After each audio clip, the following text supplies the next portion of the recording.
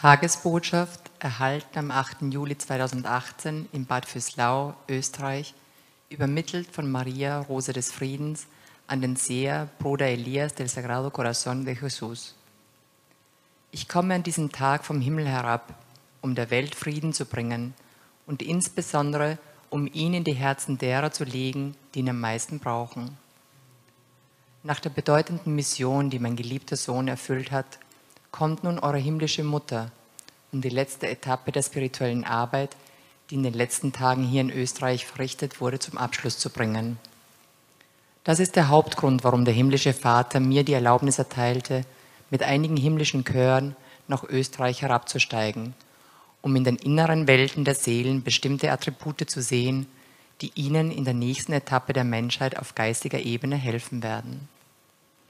So wird die Mutter Gottes und die ewige Jungfrau Maria heute nicht nur in euch als Seelen und Essenzen wirken, sondern sie wird auch im Kontext von ganz Osteuropa wirken.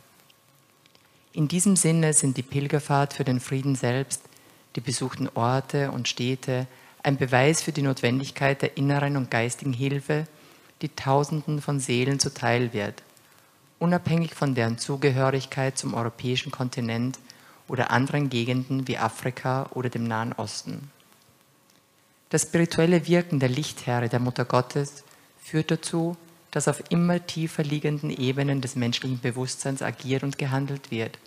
Und dies hat nicht nur, die Aus, hat nicht nur Auswirkungen auf das planetarische Leben, sondern auch auf die Oberfläche des Planeten, wo immer weitreichendere Ereignisse ausgelöst werden, die der nächsten Stufe der heutigen Menschheit schaden würden.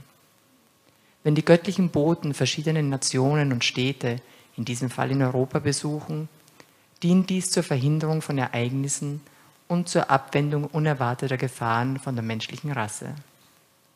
So empfängt jede Stadt, die von der Pilgerfahrt für den Frieden besucht wird, nicht nur den göttlichen Impuls des Gebets und der Musik, sondern es werden auch vergangene, tief liegende Aspekte von derselben spirituellen Hierarchie bearbeitet, und in vielen der gegenwärtigen Fälle werden alle diese Aspekte gleichzeitig und nach ein und demselben Gesetz bearbeitet, dem angewandten Gesetz der Erlösung, der Befreiung und der Barmherzigkeit.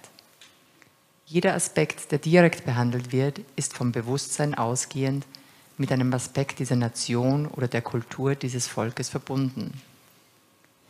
Wie ihr in den letzten eineinhalb Monaten der Pilgerreise erleben durftet, hat die himmlische Hierarchie in Orten, Städten und Kulturen eingegriffen, die nicht im Plan der Göttlichkeit vorgesehen gewesen waren. Dies wurde allerdings erst durch das Bekenntnis von Seelen möglich, die ursprünglich Vertreter und Vertreterinnen dieser Nationen waren und an der Friedenskampagne teilgenommen haben.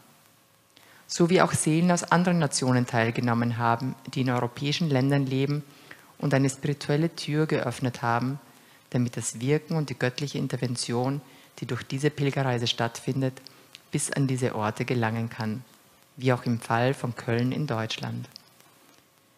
Im Sinne dieser Gesamtsicht streben wir als göttliche Boten der Liebe danach, dass all jene Teilnehmer dieses Werkes, die ihr vollständiges Bekenntnis bereits unter Beweis gestellt haben, und auch diejenigen, die zum ersten Mal dazugestoßen sind, verstehen mögen, dass die Pilgerreise für den Frieden mehr ist als eine physische Reise durch die von der Hierarchie vorgegebenen Orte und dass die Antwort, vor allem die Liebe, der Glaube und das Vertrauen der bittenden und frommen Herzen, dieses große operative Netzwerk von spiritueller und göttlicher Hilfe, das direkt vom Himmel kommt, um der Menschheit dieser Zeit zu helfen, stärken.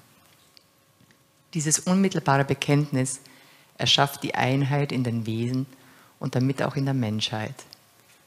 Möge dieses göttliche Wirken, das aus dem Himmel kommt, mit der Unterstützung aller weitergehen, damit mehr Nationen, Städte und Seelen von Gottes heilender Liebe berührt werden. Ich danke euch, dass ihr meinem Ruf gefolgt seid. Es segnet euch, eure Mutter Maria, Rose des Friedens.